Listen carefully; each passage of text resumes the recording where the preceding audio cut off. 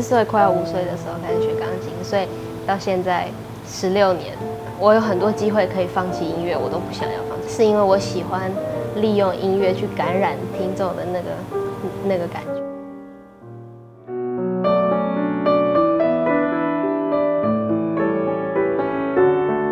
幼稚园大班毕业，那是他第一次上台。我自己留下一个非常深刻的印象，基本上他不怯场。我的感觉是从很小的时候，在他跟音乐之间的关系，这就是倒过来的。不是因为喜欢练琴、喜欢音乐，他是因为喜欢喜欢发表，所以因为喜欢上台，所以他会愿意练琴。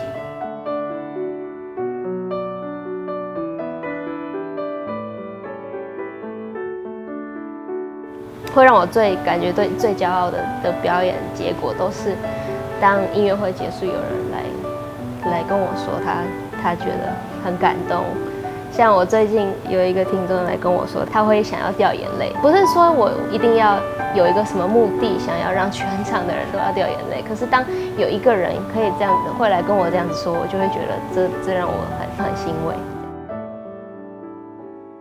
因为我自己就是经常听音乐，有时候放假有时候放古典，从小车上都随时都是播放音乐，所以那个就是对他来讲，他也逃不掉。他从小就一直听音乐，一直听音乐。很多东西我就是会有一个印象，潜意识里面的培养。舒伯特的降 B 大调钢琴奏鸣曲，我就会感觉好像看得到那个那个路上，那个车子上面我看到的风景，跟那整个感觉，到现在还是记得。对音乐上面的话，就让我。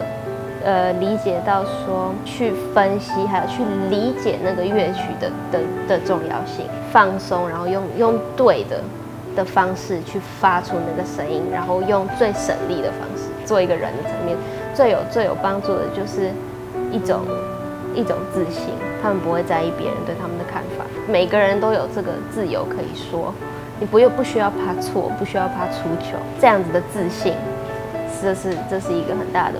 很大的收获。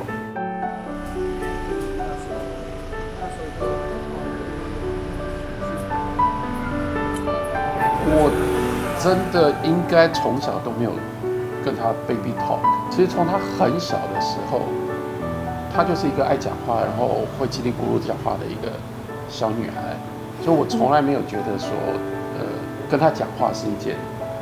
特别或者是奇怪的事，我不能说一定是平等嘛，但是基本上是一个习惯的对话的对象。我觉得他，他给我很大的空间，可是呢，当我需要引导的时候，他不会直接告诉我要怎么做，可他会把它放出来，就说所有的因素跟跟跟后果做，然后最后我自己去做那个决定。我不喜欢再讲说，我以后想当钢琴家。我希望就说可以借由音乐回馈社会。我觉得在在亚洲很过度重视技术这一部分，把音乐本身想要太简单。希望我可以在这几年再继续吸收更多的知识，然后可不可以就说之后可以边演奏，然后一边又有什么办法可以可以帮助这一部分。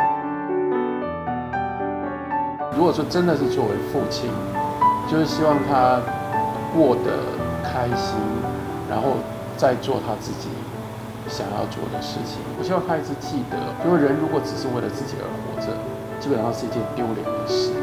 所以你要活着活得好，但你心里面要有别人。最安慰的是，他从来没有选择一个 easy way，那他还是一直不断在摸索。我看到他的最特别的一点。